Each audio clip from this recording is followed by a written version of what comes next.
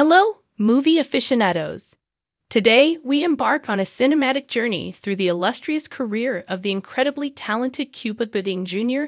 Join us as we explore the highs, the challenges, and the enduring brilliance of this Academy Award winning actor. Born on January 2, 1968, in the Bronx, New York, Cuba Gooding Jr. was destined for greatness. Growing up in a family deeply rooted in the performing arts, his early exposure to the stage ignited a passion for acting that would shape his future. Cuba Gooding Jr. burst onto the Hollywood scene with his breakthrough role as Trey Styles in John Singleton's Boyz in the Hood, 1991. His raw talent and emotional depth immediately captured audiences, setting the stage for a remarkable career.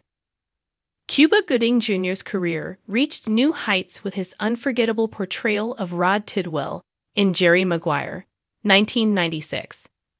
The role earned him an Academy Award for Best Supporting Actor, a moment etched in Oscar history with his joyous acceptance speech. Cuba Gooding Jr. is a man who would become synonymous with films such as Boys in the Hood, 1991, Pearl Harbor, 2001, and most recently for his role in the limited television series The People v. O.J. Simpson, American Crime Story. With his career spanning the late 80s to the modern day, Gooding Jr. has earned many accolades, though not without attracting some less than stellar jobs and becoming embroiled in controversy. Here we are going to look back on Cuba Gooding Jr.'s career with a focus on his humble beginnings, his breakthrough roles, and his a segment on where he finds himself today. Cuba Gooding Jr. had a taste of what fame could do to a man as his father Cuba Gooding Sr., was a member of the soul band The Main Ingredient.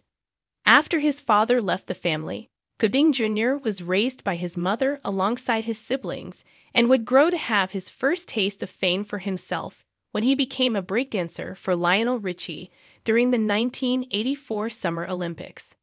After this, Gooding Jr. would begin to turn to acting, earning some guest star appearances on television shows such as Hill Street Blues and Amen, and having reoccurring guest appearances in MacGyver as Billy Colton. After making some minor appearances in films, Gooding Jr. would earn his first significant starring role in the early 90s. Starring as Jason Trey Styles II in Boys in the Hood, Gooding Jr. would get to work alongside stars such as Ice Cube, Laurence Fishburne, and Angela Bassett. After gaining a high level of experience and exposure, new doors would open for Gooding Jr., with the young man taking on many strong supporting roles. He would perform as Abraham Lincoln Haines in Gladiator, 1992, Corporal Carl Edward Hammaker in A Few Good Men, 1992, and Major Salt in Outbreak, 1994, among others. Gooding Jr. became known for his work as a supporting actor after his performance as Rod Tidwell, a disgruntled Arizona Cardinals football player, in Jerry Maguire, 1996, a role that would earn Cuba Gooding Jr. his first major award in the Academy Award for Best Supporting Actor. While this accomplishment would fill Gooding Jr. with confidence, it wouldn't mean every step of his career would be a successful one. The first few years after receiving the award would be bountiful, with Cuba Gooding Jr. getting prominent roles in films such as Men of Honor, 2000, Pearl Harbor, 2001, and being featured in As Good as It Gets, 1997, a film that would win multiple awards. Cuba Gooding Jr. would also receive his star on the Hollywood Walk of Fame in early 2001. However, as the hype surrounding Gooding Jr. began to die down, he would find himself taking on smaller projects, many of which would end up being direct to DVD films. One commercial success would be his leading role in the movie Snow Dogs, 2002, a Disney Channel film. It would be over 10 years before Gooding Jr. would find himself thrust back into the spotlight. His most impressive roles during that interim were when he played Nicky Barnes in Ridley Scott's American Gangster, 2007, and Ben Carson in Gifted Hands, The Ben Carson Story, 2009. Seeing his film career start to dwindle into obscurity, Cuba Gooding Jr. would look to revitalize his career by taking on different projects. He would enter the realm of voice acting and animation by taking on the role of Buck, the domestic horse in Home on the Range, 2004.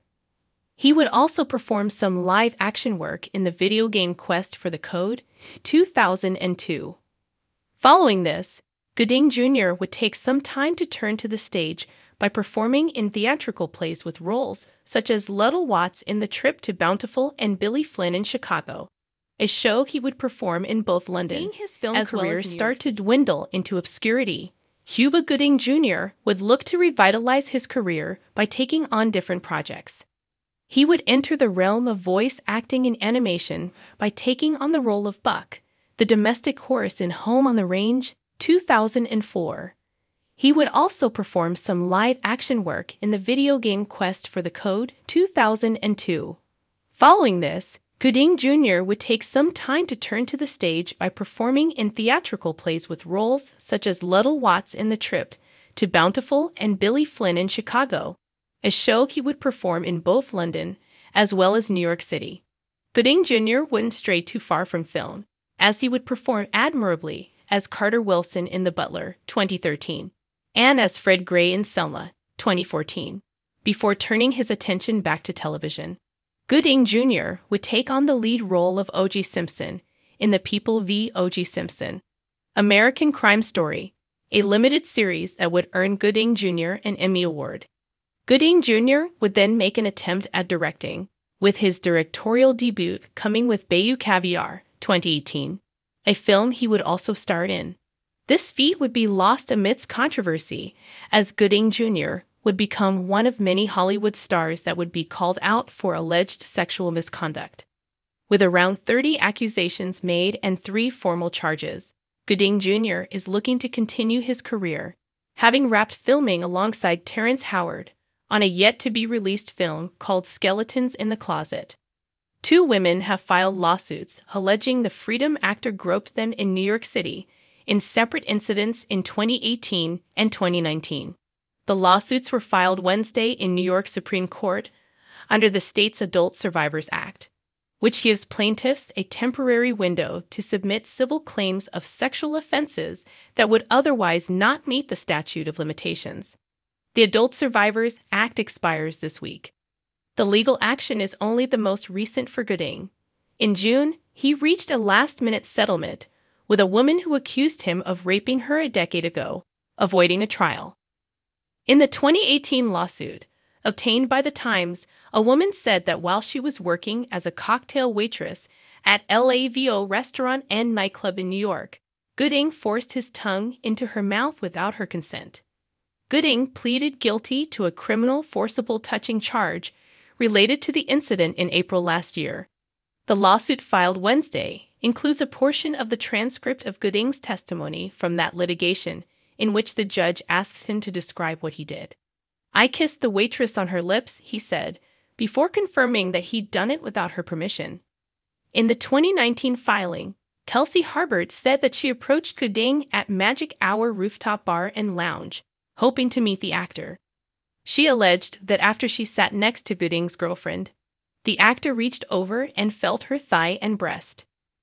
So you can imagine my surprise when I saw a flash of movement and felt his hand on my breast, groping it, feeling around on it, as if I was a piece of meat, Harbert is quoted saying in the lawsuit. Harbert filed a police report within a week of the incident. Gooding pleaded guilty again and the civil lawsuit includes Gooding confirming that it was non consensual physical contact at his hearing. Both women are seeking unspecified damages for assault and battery, lost wages, emotional, mental, and physical injury, and attorney's fees. A representative for Gooding did not immediately respond to the Times' request for comment. Gloria Allred, who is representing the two plaintiffs, said in a statement, per deadline, our clients were deprived of the justice they sought in the criminal case. They are now seeking justice and accountability in their civil cases. We are proud of their courage and intend to vigorously fight for them until they win the justice that they deserve. Like any artist, Cuba Gooding Jr. faced career challenges. Yet, true to his resilient spirit, he has navigated through setbacks and embraced comebacks, showcasing an unwavering commitment to his craft. Beyond the silver screen, Cuba Gooding Jr. has used his platform for positive change.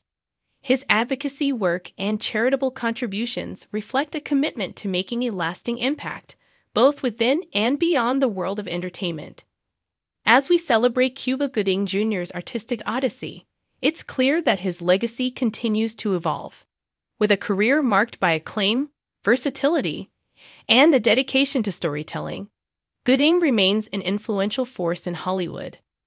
As we conclude our cinematic exploration of Cuba Gooding Jr.'s extraordinary journey, we salute an actor whose performances have left an indelible mark on our hearts and the silver screen. Thank you for joining us. Until next time, may your cinematic adventures be as captivating as those of Cuba Gooding Jr.